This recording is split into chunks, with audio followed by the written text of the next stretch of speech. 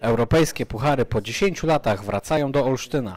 Na specjalnie zorganizowanej konferencji prasowej poświęconej udziałowi drużyny w Pucharze CEF wzięli udział włodarze miasta, regionu, sponsora tytularnego oraz władze klubu. Byłem optymistą od początku, że słońce się uśmiechnie do nas bardziej niż dzisiaj. E, W związku z tym jakoś psychicznie byłem przygotowany na to. No, cieszę się, że po tylu latach wracamy na te, jak to mówią, europejskie salony. Wierzę w to, że y, pokażemy się z jak najlepszej strony jako drużyna.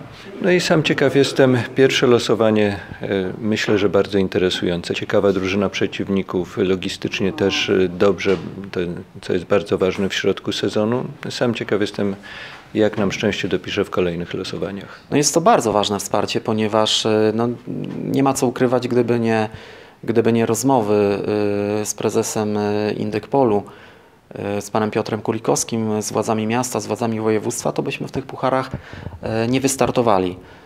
Y, Więc tak naprawdę trzeba podziękować tym panom za umożliwienie gry Indykpolowi, AZS-owi Olsztyn w europejskich pucharach i cieszę się z tego bardzo. E, Tyle nas Polaków dzieli, że każda rzecz, każda idea, która jest w stanie połączyć w, we, ws- w jakimś wspólnym działaniu jest przeze mnie bardzo y, ciepło, pozytywnie przyjęta, także cieszę się, że możemy wspólnie w tym projekcie uczestniczyć. 10 lat temu pamiętam czasy, kiedy rozgrywaliśmy mecze e, w europejskich pucharach, e, więc na pewno klub ma doświadczenie w tym kierunku.